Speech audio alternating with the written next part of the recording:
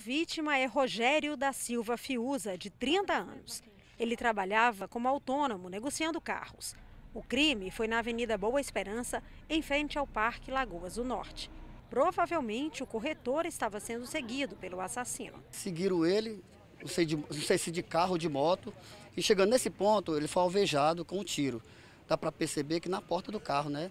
Em seguida, segundo as informações populares, ele desceu do carro e saiu correndo. Nesse momento ele foi alvejado com mais tiros. Ainda não se sabe a quantidade de tiros porque a perícia ainda vai ainda fazer o levantamento. O carro em que Rogério estava era alugado e vai ser encaminhado para a perícia.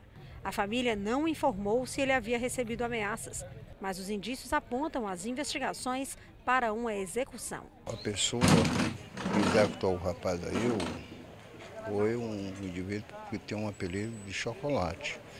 E a informação dos populares e houve apenas discussão de trânsito. Agora não se sabe realmente se é, é verídico essa, essa versão, se, se foi só essa discussão, porque pelas maneiras daí foi tipo uma execução.